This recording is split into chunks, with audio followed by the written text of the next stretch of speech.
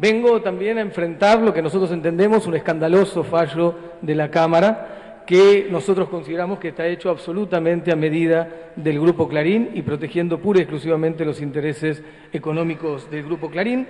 Y, explicamos esto, explicamos esto en función de que creemos que el fallo ha establecido la constitucionalidad, por lo tanto que se puede aplicar de todos los aspectos que este, no afecta al Grupo Clarín o afecta poco y sí a sus competidores y ha declarado la este, inconstitucionalidad de lo que sí afecta al Grupo Clarín.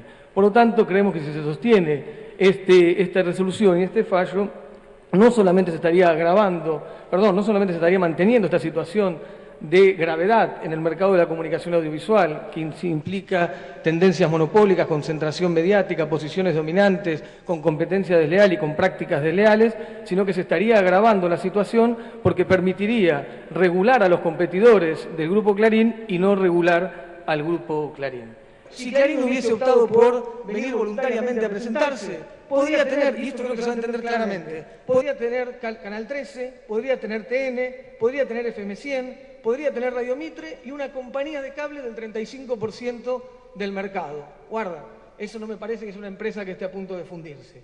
Pero además también, todos menos Clarín, absolutamente todas las empresas menos Clarín en la, Argentina, presentaron su plan de adecuación voluntaria. A menos que creamos que todos tienen vocación suicida o que todos tienen ganas de fundirse, no se entiende como el resto de las empresas sí están dispuestos a adecuarse voluntariamente y Clarín no.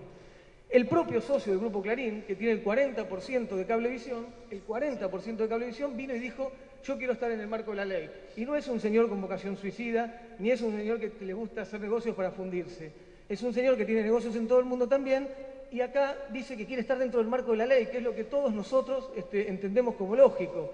Y viene y lo presenta. El socio de Clarín, no cualquier otro, el que tiene el 40% de cablevisión, dice que su empresa es viable, reduciéndose y que además es viable lo que puede vender también. Por lo tanto, encuentra que lo pueden comprar y entonces encuentra que puede este, transferirlo manteniendo sus recursos que había invertido.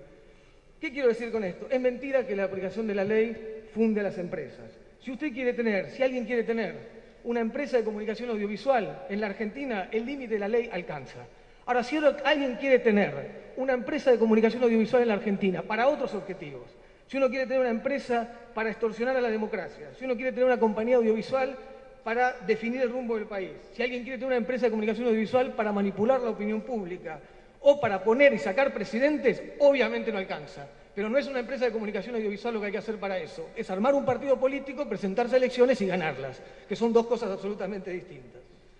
Por eso, señor presidente, y por último, no hay libertad de expresión, entendemos nosotros, si no hay regulación del mercado de la comunicación audiovisual. No hay posibilidad de pensar en la libertad de expresión, en garantizar el derecho a la comunicación y la información, si no hay este, regulación del mercado de la comunicación. Y entendemos que la regulación de esta ley, la regulación de esta ley no los hace inviables. La Argentina tiene un problema, señor presidente, en relación a la concentración mediática que nos está lesionando. Necesitamos solucionarlo y entendemos, y entendieron los legisladores, que esta es la herramienta para hacerlo. Señores ministros, señoras ministras, por nuestra democracia, queremos en la Argentina nunca menos libertad de expresión y nunca más concentración mediática. Está en sus manos, ministros de la Corte, si la democracia, a nuestro entender, puede seguir avanzando o si retrocedemos. Muchísimas gracias.